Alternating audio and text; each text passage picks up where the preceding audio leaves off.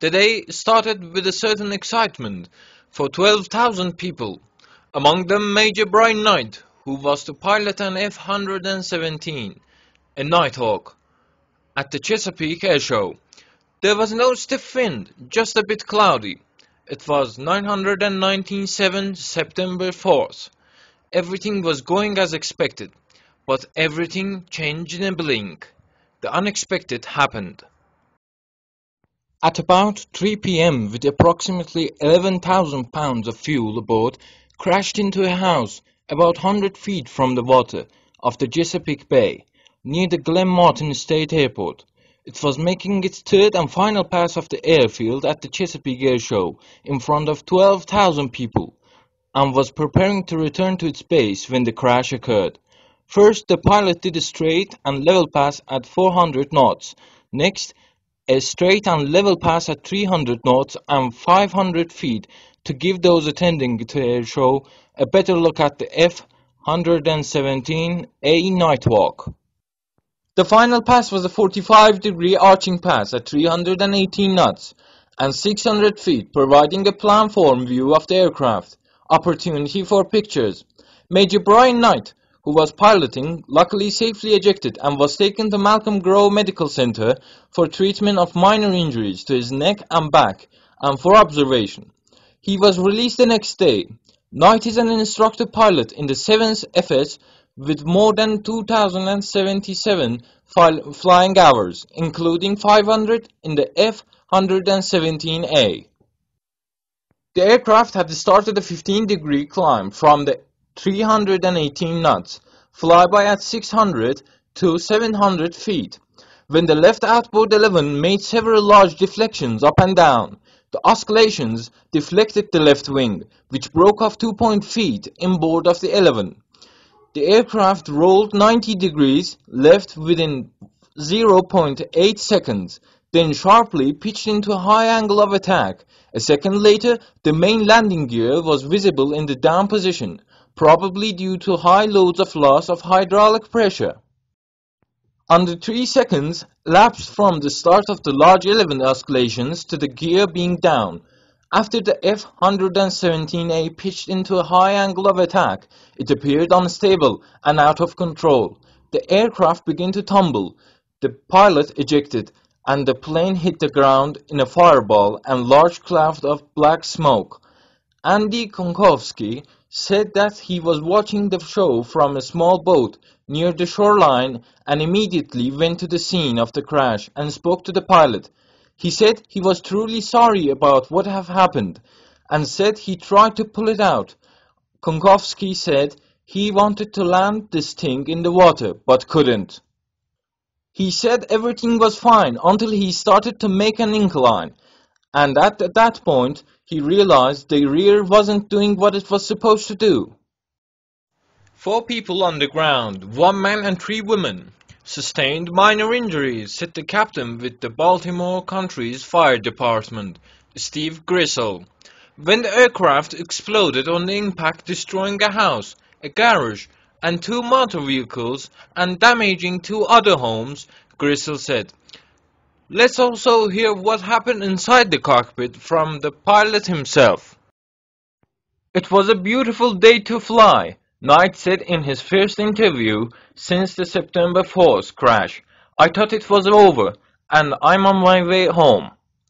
In an instant before his F-117, a Nighthawk, began falling apart above thousands of people, Major Brian Knight had no cause for worry. Having completed the last of the three scheduled flybys above the crowded airshow in Maryland, the 12-year Air Force pilot ascended into the blue sky, leveled out at 10,000 feet, and turned south toward Langley Air Force.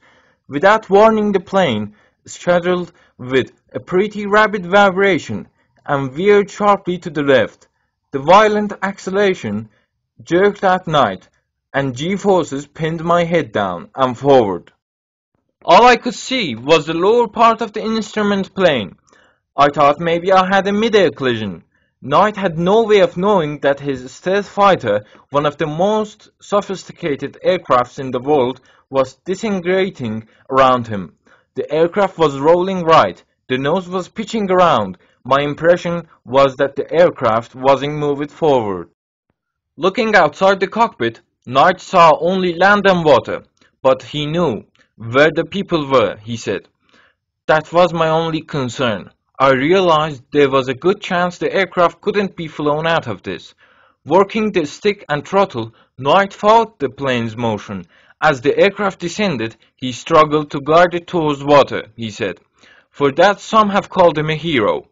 Defense Secretary William Cohen commended Knight in a speech for staying with that aircraft until the very end. In retrospect, Knight is unsure if his efforts accomplished anything. I don't think my control inputs had an effect, Knight said. Five seconds before the plane crashed and exploded, he ejected. That was probably the hardest decision I've ever made in my life, he said. I dreaded having to pull those handles. I realized I had to get out right now or I may not survive.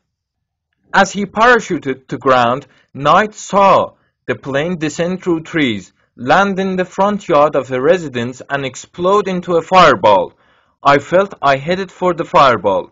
As fate would have, I got blown a little bit left of where the fire was, said Knight, who touched down about 115 feet from the burning wreckage.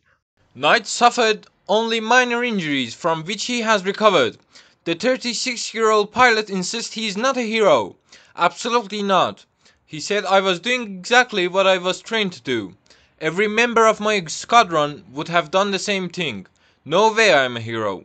The real heroes are the people who endangered themselves when they rushed to his aid, Knight said. They were concerned if I was alright even though I had just sat an airplane in their neighborhood, he said. The crash has not dampened Knight's enthusiasm for flying or his faith in the F-117, he said. It is an outstanding airplane. I really like to be flying it right now. I have a lot of faith in the aircraft and the whole F-117 community. Nor will the recent spate of military crashes unnerve other pilots, he predicted. No pilot gets in the jet and thinks about crashes. That's fatalistic. We're pretty positive people, he said. I want to go back to flying and being an instructor. And about the cars. At December 22, Issue of Aviation Week reported that the final accident report stated that four missing fasteners caused the crash and required inspection of those fasteners was missed six months earlier.